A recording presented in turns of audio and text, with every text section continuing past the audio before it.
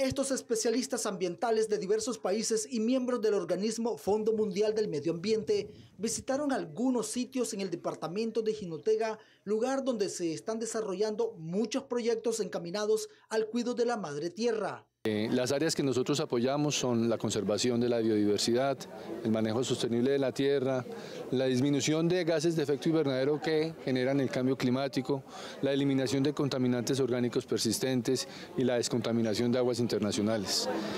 Su primera parada de este grupo fue en la finca El Petén, donde se trabaja en proyectos para conservar los suelos y eliminación de contaminantes. Entonces nosotros lo que practicamos acá es permacultura. Permacultura es un estilo de vida que está eh, comprometido con el medio ambiente.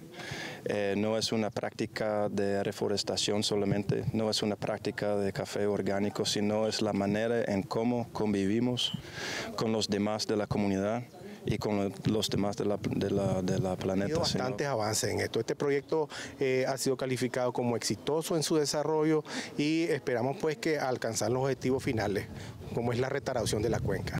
La finca está al lado del lago Apanás, aguas que también se utilizan para la generación de energía eléctrica. El Fondo Mundial del Medio Ambiente apoya económicamente a aquellos países que dedican su atención al cuidado de la flora y la fauna y respaldan aquellos proyectos como la producción de energía limpia que se genera en la planta Centroamérica.